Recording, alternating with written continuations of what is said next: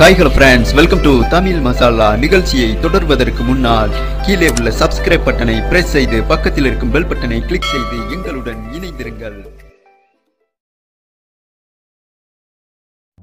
Final மேட்ச்சில் நம்ம ரெய்னா தலை தோனி மனசில் மீண்டும் ஆழமாக இடம் பிடிச்சிட்டாருப்பா. எப்போதும் நம்ம தலை மைதானத்துல சந்தோஷம் துக்கம் எதையுமே வெளிப்படுத்த மாட்டாரு.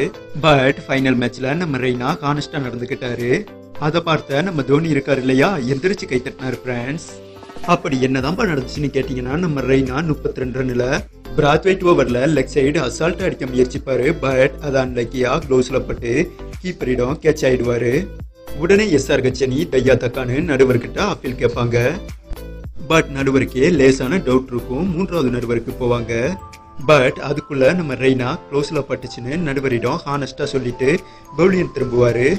இந்த மூமெண்ட்டை வாட்சிங் செய்த நம்ம தலை மெர்சலா எந்திரிச்சு கை தட்டினாருப்பா சரி ஃப்ரெண்ட்ஸ் நீங்கள் சொல்லுங்கள் இந்த பெஸ்ட் மூமெண்ட்டை நீங்கள் பார்த்தீங்களான்னு கமெண்ட் பாக்ஸில் சொல்லிடுங்க.